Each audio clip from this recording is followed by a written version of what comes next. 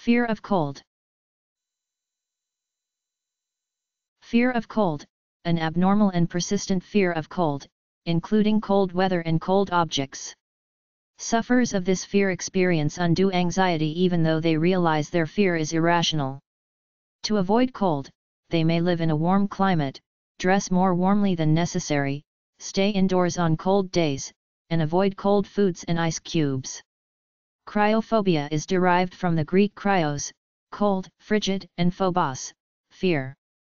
Kryos has also given us English words such as cryometer, a thermometer for measuring very cold temperatures, and cryotherapy and cryosurgery, medical techniques that freeze and destroy diseased tissue. Related term, thermophobia, fear of heat.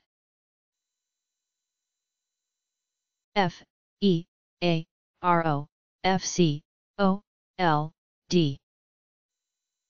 Fear of cold.